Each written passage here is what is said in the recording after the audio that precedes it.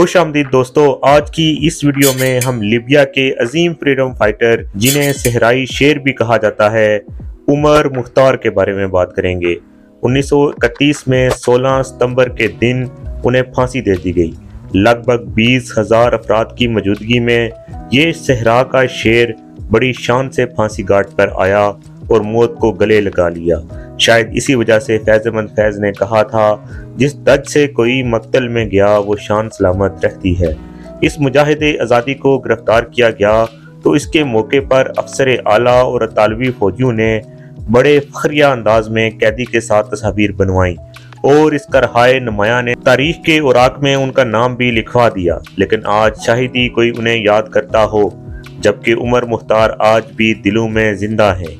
Libya, शुमाली Africa का एक अरब मुल्क है, जिस पर 1911 में इटली ने कब्जा कर लिया। उमर मुख्तार ने उसके खिलाफ जंग आज़ादी लड़ी थी। वो 20 बरस तक इटली के खिलाफ जंग आज़ादी की जंग लड़ते रहे और गिरफ्तारी के बाद उन्हें फांसी दे दी गई।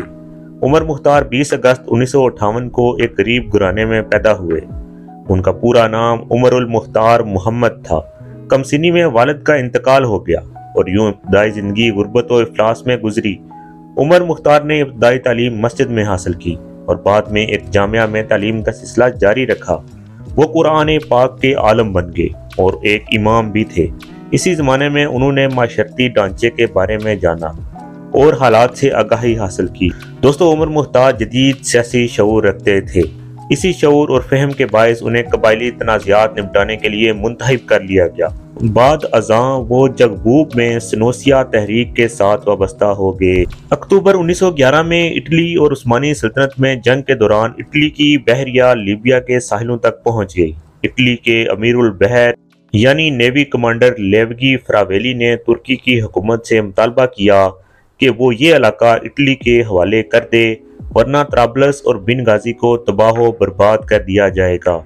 तुर्कों ने ऐसा करने से इनकार कर दिया। जिसके बाद इटली ने इन शहरों पर तीन दिन तक बमबारी की और ऐलान किया कि त्राबलस के लोग इटली के साथ हैं। इसके बाद इटली की फौजों और लीबिया की जमातों के माबेन मसल्ला लड़ाइयाँ शुरू हो गईं।